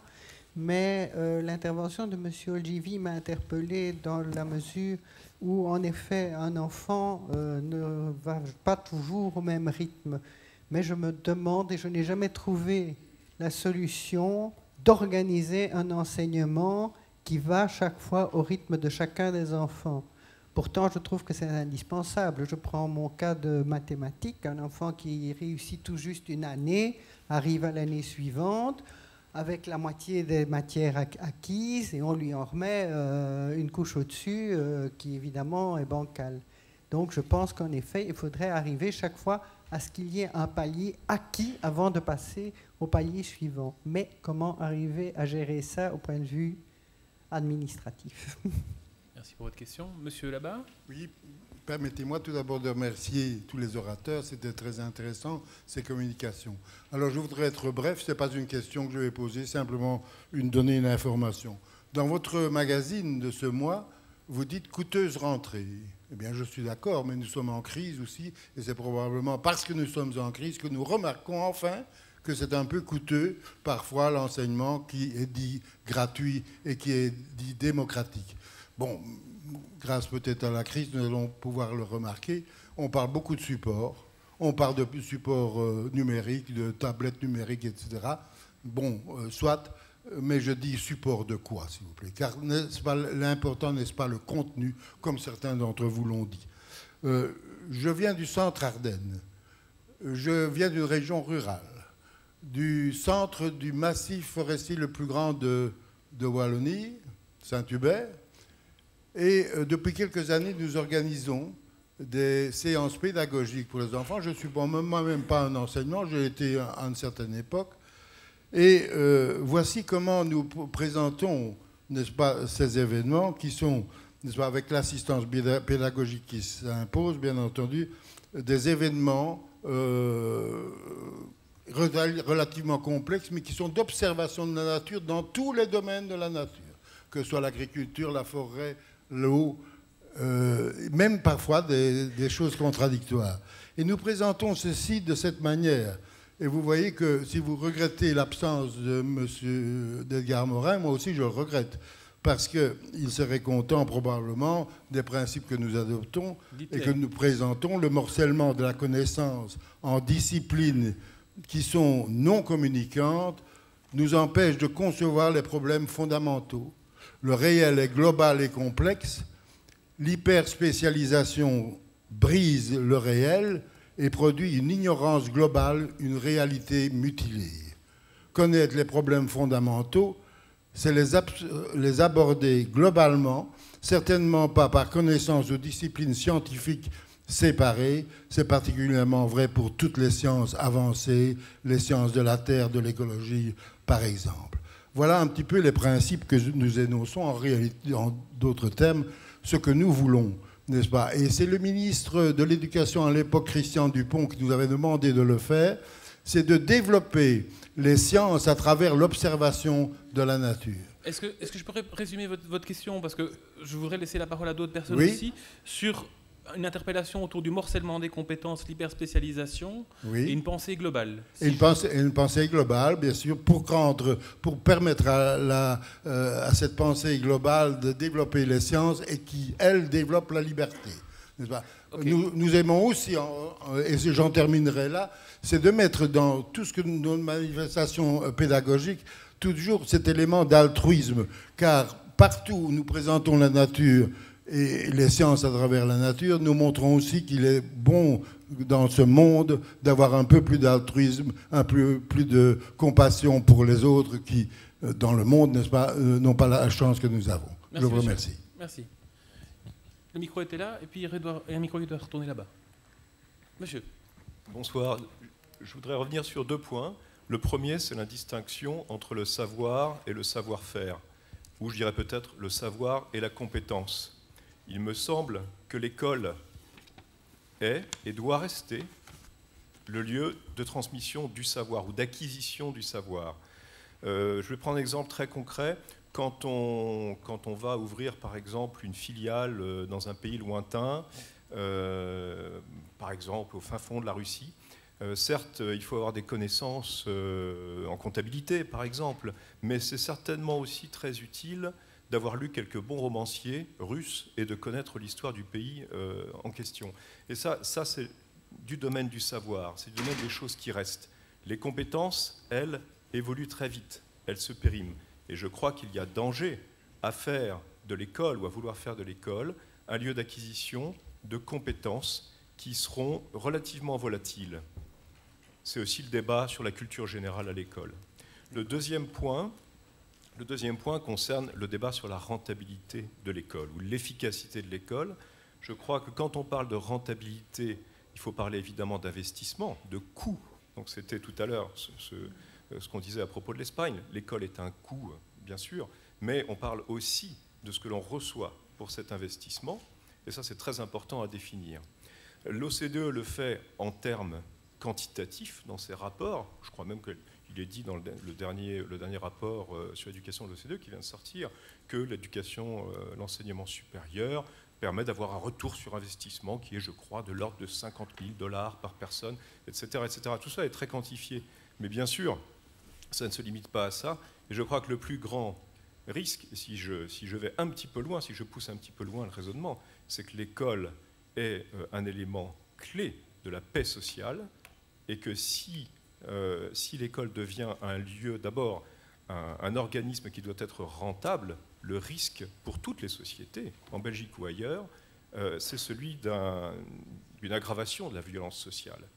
Et celle-ci a un coût infini. Mmh. Merci pour votre question. Il y a encore une question, je pense, par là. Oui, bonjour, je suis Betty Ludwig. J'ai enseigné 30 ans dans l'enseignement professionnel, 10 ans comme médiatrice scolaire dans des écoles en difficulté. Et je fais de la formation maintenant pour les professeurs sur notamment la motivation. Et chaque fois que je me trouve devant un groupe de professeurs où je dois parler de la démotivation des élèves, je me dis si je parlais de la démotivation des adultes, pourquoi est-ce que tout le monde s'emmerde à l'école? Comment va-t-on rendre la passion, le désir de découvrir, sinon en changeant fondamentalement tout ce qui se passe pour que tout le monde ait envie d'y être? Merci. Je propose qu'on prenne une, dernière question peut-être, là au milieu, monsieur. Et puis après, qu'on laisse encore le temps aux orateurs qui auront quelques minutes pour euh, réagir aux différentes questions. Monsieur. Oui, je crois qu'on l'a bien compris. tout à l'heure, on a dit que l'école était politique finalement. Et je fais référence à, ce que j'ai vécu moi à l'Athénée et ce que ma fille qui a 19 ans aujourd'hui a vécu à l'Athénée aussi. Euh, mais je pense que sa conscience politique, elle a très peu été éveillée, me semble-t-il, de par l'offre de, de possibilités d'agir, je vais dire, qu'on on lui a offerte dans cette institution, au travers de l'institution scolaire.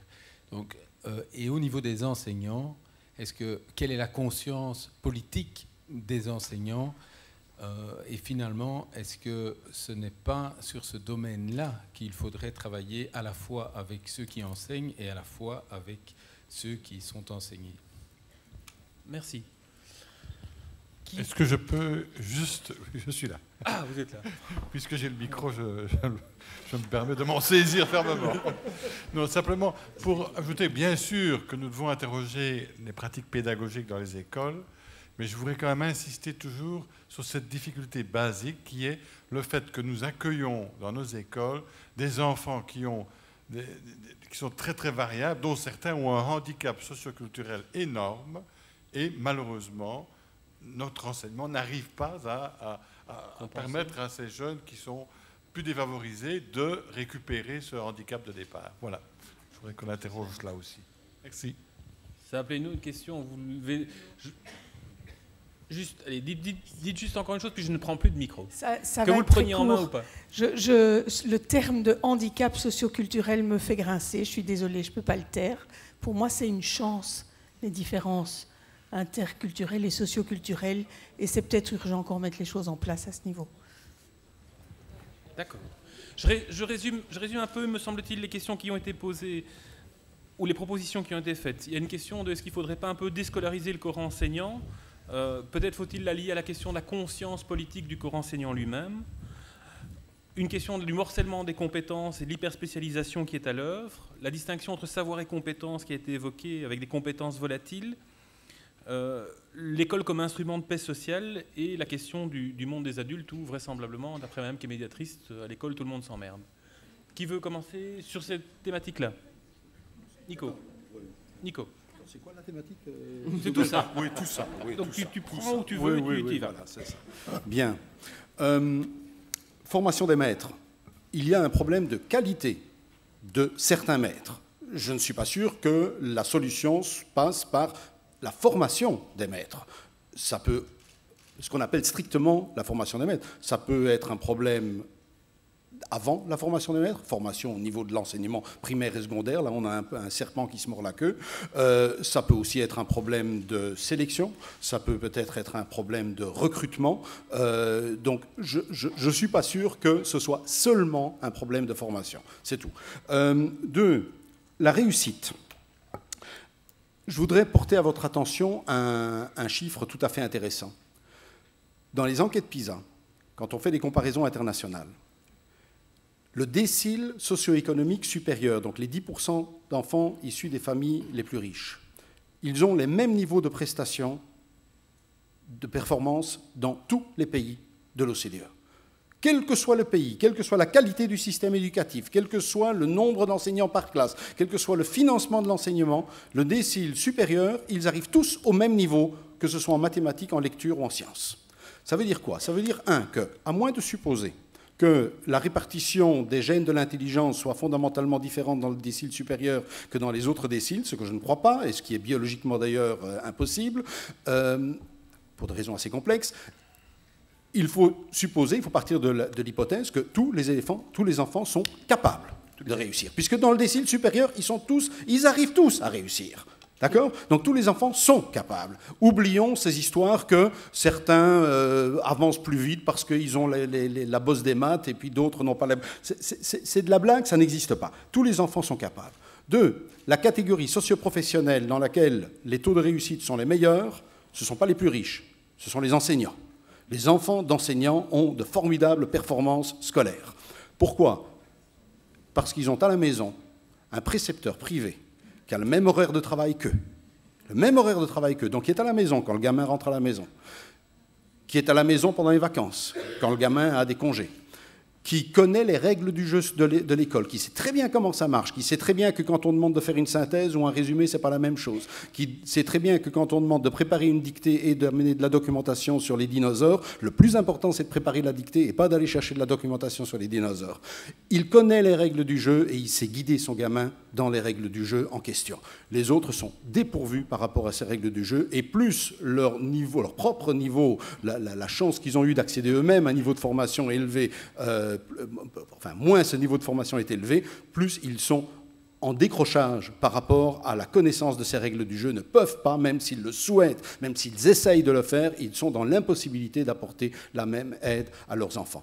Tout cela pour dire que réussissent à l'école. Le problème n'est pas de savoir pourquoi les enfants de pauvres ratent à l'école. La question est de savoir pourquoi les enfants de riches réussissent. Ils réussissent à l'école parce que leur milieu familial leur apporte tout ce que tout le monde a besoin pour réussir, mais que l'école n'apporte pas à tout le monde. S'il y a des gamins qui sont en, y a des gamins qui sont en difficulté en maths, qui n'ont acquis que 50% de ce qu'ils devraient avoir acquis en maths, c'est à l'école qu'il appartient de remédier à ça. Et quand je dis c'est à l'école qui appartient, je ne jette pas la pierre aux profs, hein, je jette la pierre au système éducatif, aux ministres qui ne donnent pas les moyens suffisants, suffisants euh, aux responsables pédagogiques qui confondent euh, doctrine pédagogique et objectif d'enseignement, etc. Donc il y a toute une, série. Deux, petites choses encore? Je peux, une minute. Une minute. Freinet. Freinet, pour moi, ce n'est pas d'abord un lieu. Freinet, pour moi, c'est d'abord une conception du savoir et, de la transmission du savoir. Le savoir doit être transmis, mais il ne se transmet pas par un acte de transmission. Le savoir se transmet en mettant l'élève dans une situation où il participe à la reconstruction de ce savoir. C'est ça, pour moi, fondamentalement, la pédagogie Freinet, et peu importe le lieu où elle se fait, bien sûr, ça passe par un lieu, mais c'est ce, cette construction, cette reconstruction des savoirs qui est pour moi au cœur de l'enseignement freinet et qui marque aussi la rupture radicale entre l'enseignement freinet et ce qu'on appelle aujourd'hui l'apprentissage par l'approche par les compétences, où il ne s'agit plus de construire des savoirs, mais seulement d'exercer des compétences. Merci. Un dernier mot? Et à bas la paix sociale, s'il vous plaît. Oui. un dernier mot? Oui, un, un dernier mot pourrait être que je pense que nous avons perdu beaucoup de mots. Il y a beaucoup de paroles perdues qu'on n'utilise jamais plus et que l'école devrait être capable de renseigner. Euh, il y avait un écrivain espagnol qui habitait en exil, Max Aub, qui disait Tous ces gens devraient apprendre à nouveau ce que nous connaissons. Euh, l'école doit être capable de transmettre ce que les générations présentes connaissent, et surtout la langue, les paroles, les noms des choses, euh, et la seule euh, façon est, de promouvoir l'amour à la lecture, récupérer la lecture, euh, je, dirais, à, risque d'être très mais sur un, des livres, hein, des livres physiques. parce que c'est quand on, comprend que les choses ont un système, un ordre, un, et, une autre aura une autre, mais on ne comparera pas des phrases isolés qu'on trouve euh, dans les nets, on les comparera avec la, projection globale de ce que l'auteur euh, voudrait dire. Et je pense que ça, c'est un partie important de la récupération de la culture. Merci. Bertrand en, essayant de, croiser les questions qui sont sans réponse à ce, à ce moment-ci. Ah bon, c'est lesquelles? Autour du morcellement, autour de des paliers autour de la distinction savoir-compétence, la paix sociale En deux minutes.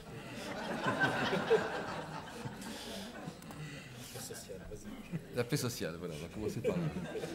Là-dessus, je dirais rien de positif, je poserai juste une question euh, qu'on considère un peu trop comme évidente, je crois, c'est au fond, c'est la question de savoir, je ne parle pas assez fort, c'est la question de savoir qui a intérêt à ce que l'école change.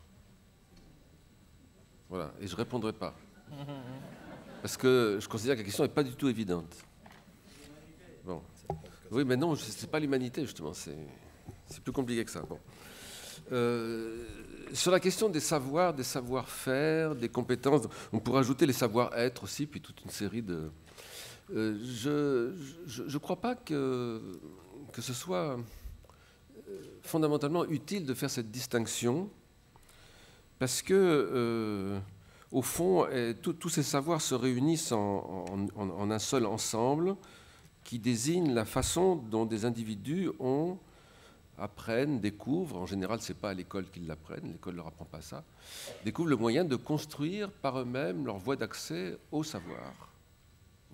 C'est-à-dire, c'est des habitudes, c'est des gestes, c'est une, une, disposition d'esprit, c'est presque une c'est presque de l'ordre des, comment on appelle ça, pas, les bienséances, mais les, savoirs qu'on enseigne dans les familles, dans les grandes familles. C'est cette, cette, capacité à savoir où il faut aller chercher ce qu'on doit trouver pour... Bon.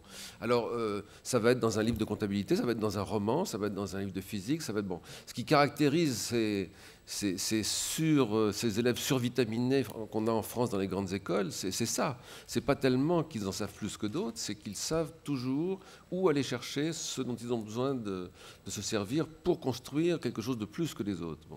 Alors c'est cette euh, disposition d'esprit-là qui est aussi quelque chose de l'ordre de la croyance, de la confiance en soi, une confiance euh, sociale et politique en soi. Hein qui euh, euh, euh, est l'un des points forts justement de ce que faisait Freinet, hein, qui, bon, oui, oui, moi je tiens au lieu beaucoup, mais c'est évidemment une métaphore. Hein, Freinet, quand je dis que c'est un lieu ou une architecture, on pourrait dire une façon d'aménager l'espace, c'est une situation, oui. C'est créer des situations dans lesquelles les enfants découvrent qu'ils sont à égalité face à des instruments de savoir, de travail et de compréhension le prof étant un de ces instruments d'ailleurs, mais pas plus, et qu'ils euh, ont le droit de construire des voies différentes, différenciées, à des rythmes différents, pour reprendre votre question tout à l'heure. Euh, l'aménagement de ces rythmes différents, c'est pas difficile, il suffit de cesser de faire de l'école ce, ce face-à-face entre euh, un qui parle tout le temps et les autres qui écoutent, euh, mais au contraire de mettre au milieu les livres et puis les gens autour qui euh, se les approprient à des rythmes différents. Et pour ça, il faut des locaux un peu différents de, ce que c'est que ça, par exemple. Hein, il faut absolument toucher à la matière des, lieux où on travaille. Eh bien, cette différenciation-là, elle permet aux enfants d'acquérir une autonomie et une singularité qui ne peut plus être évaluée et hiérarchisée et c'est pour cette raison-là qu'il euh, y a des gens qui n'ont pas du tout intérêt à ce que euh, l'école produise des enfants qui ont un état d'esprit de ce genre. Pas du tout. Je ne nommerai personne. Je vous, propose que ce soit le mot de la fin sur la question de chercher l'intérêt et chercher les coupables. Je sais qu'il y a de la frustration, il n'empêche que ce qui est entamé aujourd'hui n'est pas censé s'arrêter euh, aujourd'hui à 17h, mais bien de pouvoir continuer dans chacun des lieux où vous êtes et dans chacun des lieux que vous investissez. Et puis, je pense que nombre d'entre nous seront encore là dans la suite de la journée. Merci pour votre attention et bon combat.